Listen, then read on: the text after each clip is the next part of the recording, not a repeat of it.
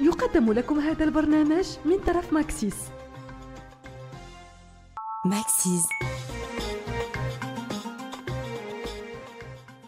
هاد الصباح اختاريت لكم القصة ديال ليلى من مدينة تطوان الأم الجوج ديال بنوتات اللي غادي تعاود لينا كيفاش بفضل بنيتها قدرت ترجع للدراسة ديالها وتكملها وتاخذ تحدي كبير. ليلى معايا على الخط. صباح النور من تطوان. صباح الخير أختي سناء. اش أخبارك ولاباس عليك؟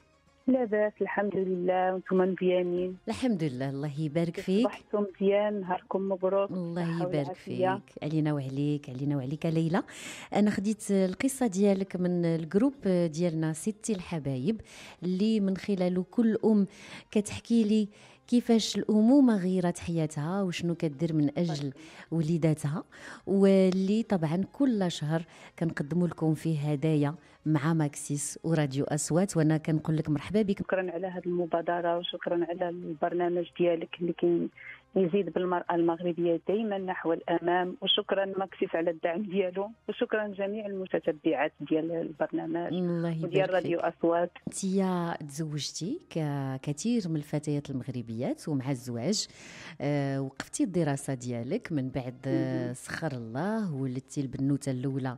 آه تسنيم اللي عندها اليوم 13 سنة ومن بعد الإبنة الثانية نور اللي اليوم عندها 10 سنين. شنو اللي غيرت في حياتك الأمومة؟ الأمومة هي واحد المرحلة اللي كت...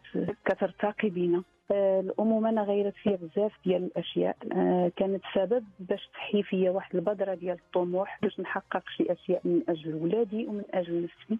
بالأمومة نحقق واحد الحلم اللي كان كيبدو أنه مستحيل بالنسبة لي. أنا اليوم بغيتك تقاسمي مع كل النساء اللي كيتابعونا على راديو أصوات هذا الحلم وكيفاش بفضل.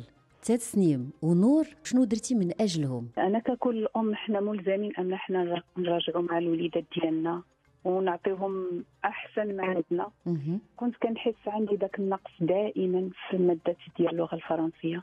دائما كنت خصني نتصل بشي الأخ ديالي الأخت ديالي باش تشرح لي ولا نزيد شوية عن ولادي ال centre وهذه نعم. كنحس النظره بنتي أنا insatisfaite ما راضياش على داك le regard بنتي وأنا كنطلب المساعدة.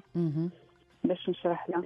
أنا قررت أنني نسجل في الكلية. علما أنك أنت حاصلة على الباك. سجلت في, كلية département de langue française الدراسه الجامعية في الثلاثينات بداك النضج بداك المسؤولية ديال الدار ديال الاولاد وديال المسؤوليه أنك خديتي واحد la charge ديال les études بواحد la responsabilité بواحد الحماس وما خصكش تفشل حتى شي ميدان وتعمل l'équilibre بيناتهم بجوج. دفعت الماستر مباشرة وحتى هو خديته بال mention خدمت في واحد المدرسة خاصة في الثانوي نعم. بين بنتي.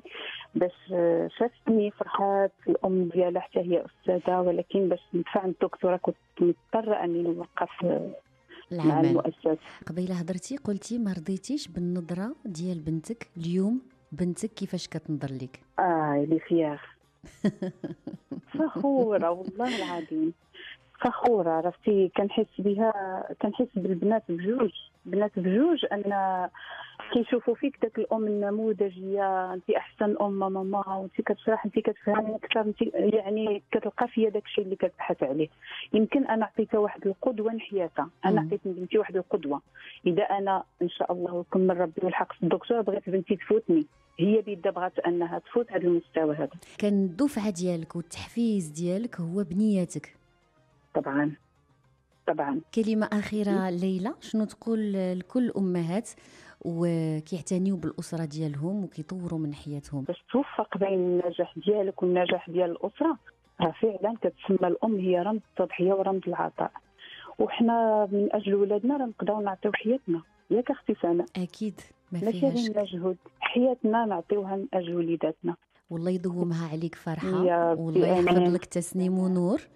والافتخار ديال بنياتك حتى حنا هاد الصباح غادي نشاركوهم فيه لأنك تبارك الله عليك أم وستي الحبايب معنى الكلمة لأنه فين ما كاينة الأم كاين الحب والرعاية والحماية. ما عليك لالا غير تلتحقي بينا وتنضمي لنا على ال groupe ستي الحبايب عبر الصفحة الرسمية ديالي سناء الزعيم أصوات. قدم لكم هذا البرنامج من طرف ماكسيس. ماكسيس شوفوا شهادة